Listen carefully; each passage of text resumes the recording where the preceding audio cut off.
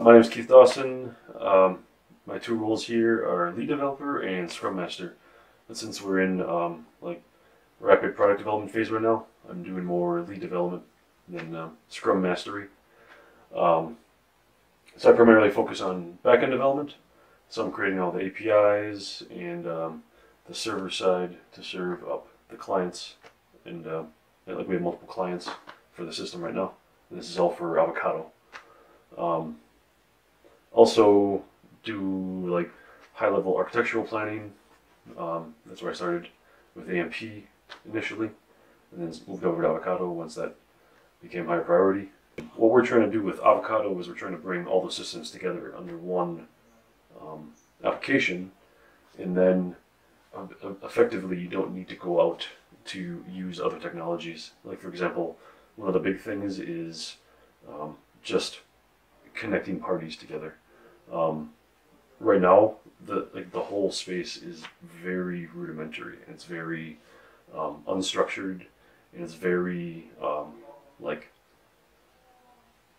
like there's there's not really um, integration with like uh, you know like things like WhatsApp and WeChat and stuff like that with um, like, you know like crypto trading platforms. So um, kind of doing our own version of those different systems and putting it all under one um, like in one in one product that's smooth and that offers like a good um, like a good experience across the whole thing. Mm-hmm. Um, I think is like a huge value add. Um, modeling modeling ourselves after like a like a Bloomberg or like a Eikon um, from uh, Thomson Reuters.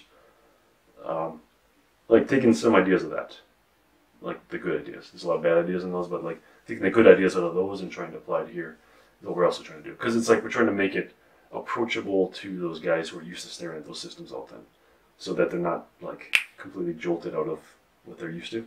It's like to give it a little bit of a um, a taste of what they're used to, you know. But then also introduce them to a lot of these other new things. So it's like a pretty ambitious thing, you know, because it's like we're not just doing one system. We're not just focusing on one system. We're focusing on like four or five different systems trying to put them together, which uh, it's a challenge, but it's a fun challenge to overcome. Like we're trying to make like our our platform like a standard like with the you know like like I was saying with the different components like the AMP platform and the like uh, the financial like insurance market there and then like liquidity market and like uh, people who are willing to like speculate on like an insurance market uh, from avocado like bringing those together and then just providing data for everybody in general so you can have you know aggregators and all that kind of stuff like it's these are all the products that a, traditional financial system has and you need to have all those things in place for people to take it seriously. With our development philosophy, we're not trying to cut corners. We're trying to do things right, and that's why we're trying to talk to as many people as possible who know what they're talking about, um, to get like the right viewpoints, the right ideas, the right feedback about everything we're doing, give validation.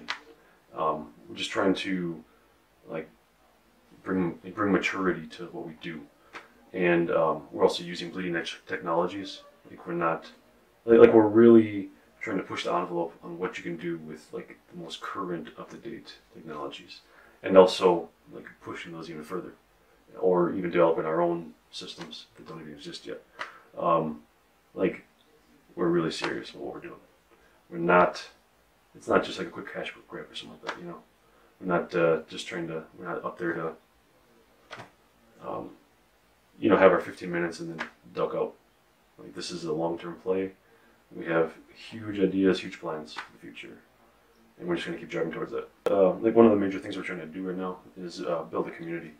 Um, so, uh, uh like an open source community. So, um, David with the AMP platform, we're trying to get like the best talent to contribute, um, whether it be ideas or code or whatever their expertise is.